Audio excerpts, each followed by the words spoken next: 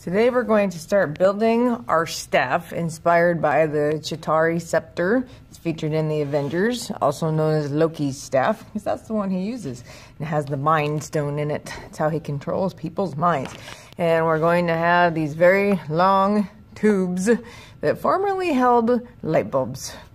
we're using those for our staff. They're about four feet long and you should have a design planned out on a piece of paper. And please remember, designs can change as we are working. So you're all going to start out with some cardboard and you get more as needed. We're trying to make use of the piece that you start with.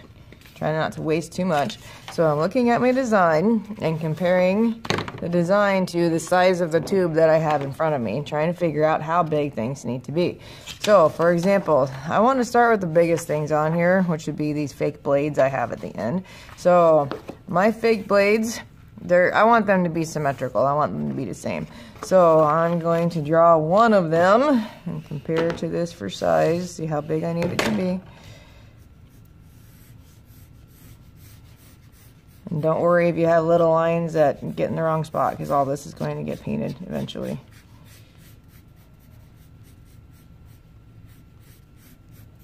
This end I'll have to bring around.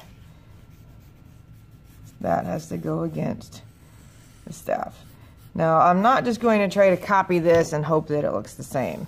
Since I want these to be symmetrical, now that this is drawn, I'm going to cut it out. All cut. And I'm going to take this same shape and flip it over and trace it.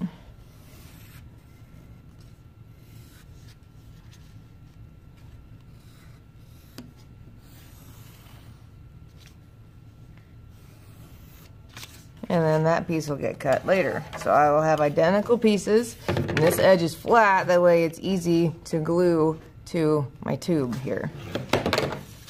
Then I have lots of other smaller pieces on here, like little spikes to stick up.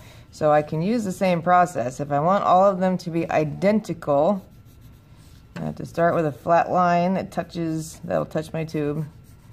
And then draw the object, and I can cut it and trace it as many times as I need that piece. I now have most of my parts cut, so these are the little spikes that stick out on the staff. These are going to help hold the Mind Stone at the top. I have my two blades cut over here. For the bottom part of my staff, the design is a little more complicated. Something that needs to wrap around the tube. So I picked a piece of cardboard that's a little more flexible. It's just an old file folder. wrapping it around my tube so I can plan where the object needs to go.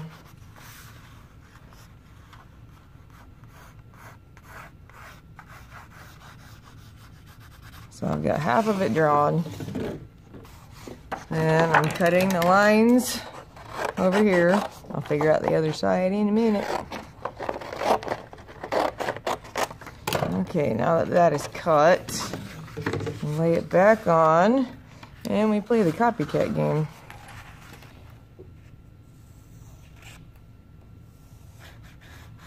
And trace it to the best of my ability and then cut on those lines.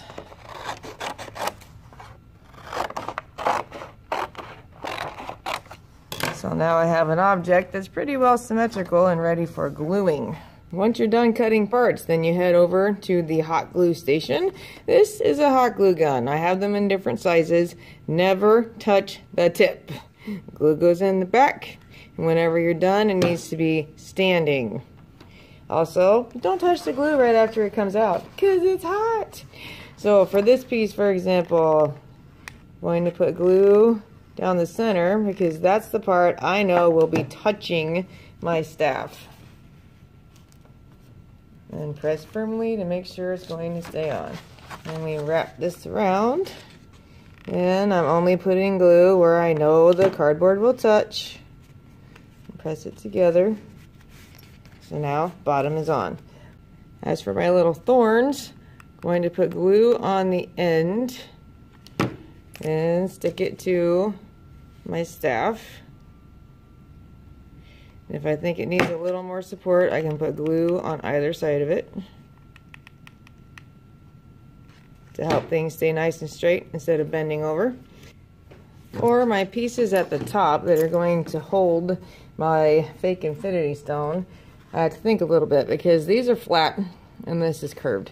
So I'm going to put a little bit of hot glue on here, set my piece down, and then I'm pressing, I'm making sure to not stick my fingers in the glue because it's hot. So I have to make sure that this cardboard tries to curve with the object. I can also bend the cardboard in a little bit so I want it to hold the model magic piece.